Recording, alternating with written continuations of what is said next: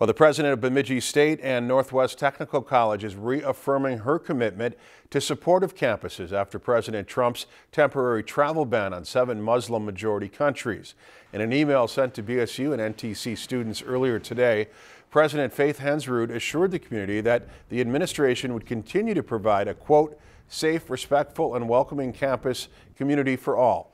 President Hensrud did not offer her support or disapproval for the executive order in the letter. While the president was not available for comment, a representative for the university said that taking sides was not the letter's intent.